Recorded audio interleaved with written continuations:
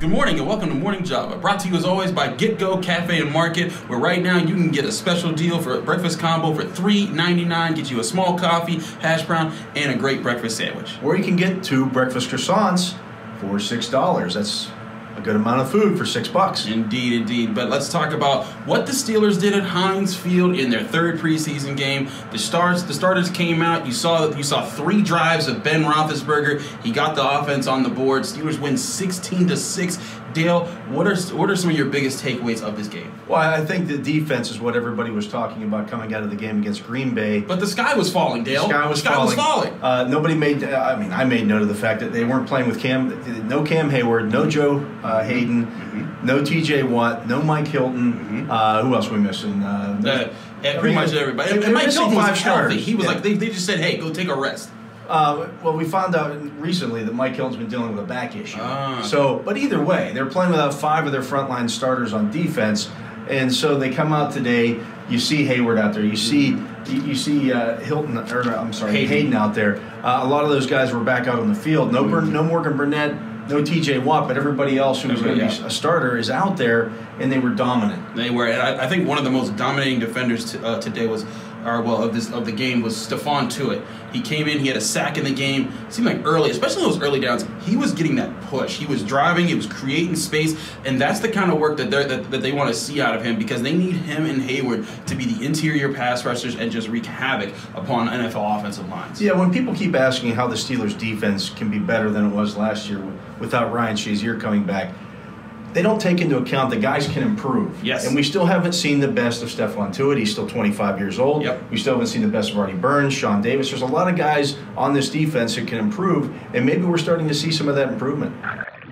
So Dale, one of the uh, one of the highlights I wanted to talk about was Matthew Thomas. He was all over the field. The Steelers continue to like to use this guy, and even with the first team defense, you saw it was Jon Bostic and Vince Williams on the early downs, but on third downs, you saw Matthew Thomas working his way out there with the personnel, playing a little bit of outside linebacker, always out there in coverage, running with the with the faster guys. Well, what they did was was they were taking Anthony Chickillo off the field and bringing Matthew Thomas in. So they're, they're subbing him, him in for an outside linebacker, and then they were going to kind of a, a four-three look or even a three-three-five look we saw as well.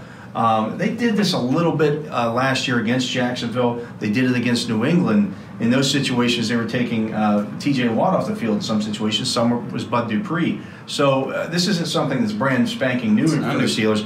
What's going to be interesting is what do they do when T.J. Watt comes back?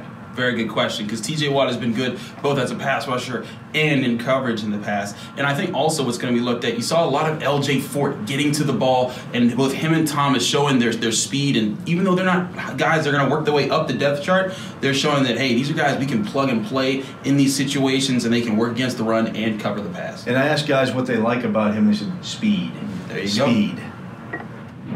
So Terrell Edmunds got his first interception in a Steelers uniform, albeit a preseason game. Still a good play. You're seeing that change of direction that he showed at Virginia Tech and why the Steelers selected him in the first round. Yeah, I mean, he's, he's, he can be a dynamic playmaker. You saw him uh, step inside of Taywan Taylor on that mm-hmm. play. There was some pressure from Bud Dupree. Yes. Forced Marcus Mariota out of the pocket, mm-hmm. uh, rolling to his left, and he tried to throw back across, across his body. body Always a, a no-no. Cardinal sin of and that gave Edmonds the opportunity to step inside Taywan Taylor and make the pick.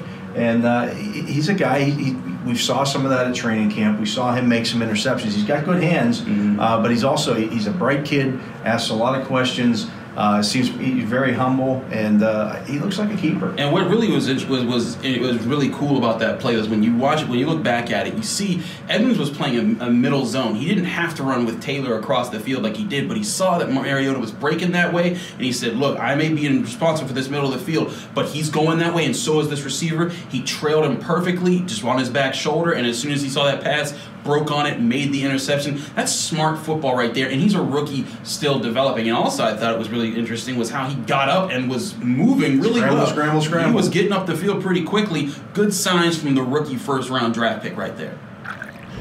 So Dale, the Steelers had six sacks in the day in a game where they only allowed six points, and that came in the back end of the game. Um, the defense was really getting after the quarterback, and not just when Mariota was out. When he was in there, Stephon Tuitt, Cam Hayward, Vince Williams were all getting in the act. Bud Dupree had a sack. Um, those are four starters right there that the Steelers are going to need to see pressure from all throughout this season. Well, Bud didn't have a sack in this game. He had one in the last Oh, sorry. game. Yeah, he but he did have, he did uh, force some pressure. He forced the interception by Mm-hmm. chasing down Mariota from behind. And, and this is the kind of stuff that you want to see out of this defense. You want to see those front guys, Yeah. the front four guys, especially getting to the quarterback. And they were dialing up some pressure, and it was getting home. And, and, and Mariota did, did not look good. No. And we're talking, you know, people people on Twitter are like, well, I, you know, it's just Marcus Mariota.